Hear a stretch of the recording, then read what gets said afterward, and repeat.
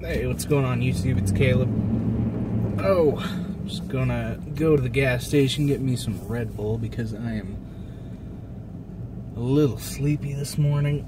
Um, as you can see, it is snowing here in Colorado. Uh, today is January 16th, 2017. We got a little bit of snow.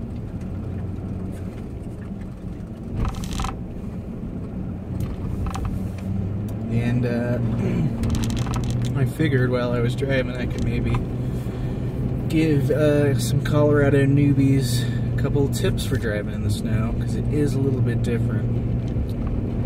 Um, I'd say the first thing you gotta know about driving in the snow is uh, don't drive that fast. You know, you gotta drive slower than you would if the roads were dry or even just wet. Um, obviously, we all know that snow uh, turns into ice uh, when the temperature gets down, especially at night. What'll happen is it'll snow on the roads, roads will get wet, they might get a little bit covered. So you can see here we've got plowed this morning. But as the temperature falls at night, all this slush turns into black ice, which A is hard to see because it's black or it's you know it's the same color as the cement, and B it gets super slippery. So when you're out and about, just try to uh, try to go a little slower. Uh, B, uh, make sure your car has tires that don't suck. Uh, I'm driving an F-150. I just got these tires replaced a couple weeks ago. I usually get all weather tires. They have winter specific ones. These are kind of like a hybrid. Um, basically, the way to know if your tires are uh, too worn down is to stick a quarter in it. And I, I think it's a quarter and a penny. Um, I'll link to a photo if I can find one in the description. But if you can see Lincoln's head or uh, George Washington's head, then you know your tread on your tires has gotten too low. Um, you definitely want to have good tires that are actually capable of creating some traction on here. Um, along with that, you know, four-wheel drive's pretty much a necessity out here if you're gonna want to get out and about in the snow. Um, I'm currently driving in four-wheel right now. Probably don't need it for today necessarily, but it's just a little bit safer. Um, gives you more traction, but you got to remember that four-wheel drive does not necessarily mean four-wheel stopping as well. Um, of course, all your wheels have brakes on them, but it doesn't increase your braking ability by any means. Uh, what's next?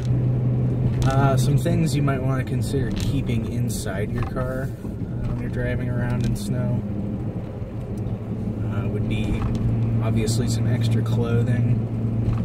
Um, I keep an extra pair of boots, uh, some ski gloves, a couple hats. Uh, I have a spare jacket and actually a bunch of long underwear that I keep in here too, just in case I get stuck somewhere. Currently, I have like a little army shovel, like one of the little folding shovels.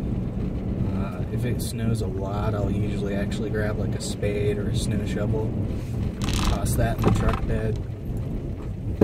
Uh, cat litter is a great idea. If you do get stuck in the snow, cat litter can be a saving grace or just like sand that you can kind of jam underneath the tire so you can get some traction to get out of being stuck. Um, and what I find probably most important, especially for the truck I drive, are uh, sandbags, or uh, I guess you call it tube sand. Uh, they sell these at Home Depot or Lowe's. They're like three bucks a bag. Um, and basically, it's just like a big 60 pound like tube of sand. And I currently have six of them in my uh, in my truck bed. so that gives me around 100 or 360 six times. I'm not gonna do math.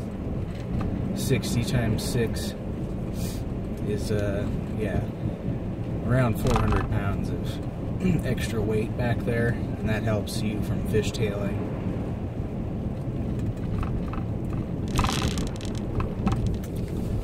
What else can I think? Oh, yeah, another thing.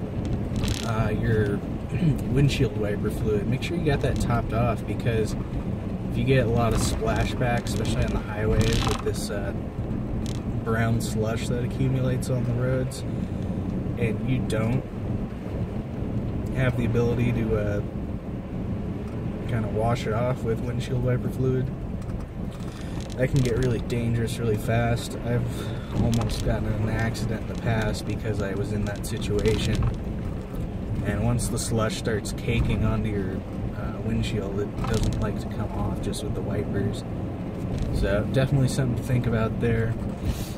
Um, yeah, the other thing, I guess, is just be courteous to the other drivers on the road. I know that's a foreign concept to a lot of people that drive, but, you know, it's not worth getting in an accident because you're in a rush.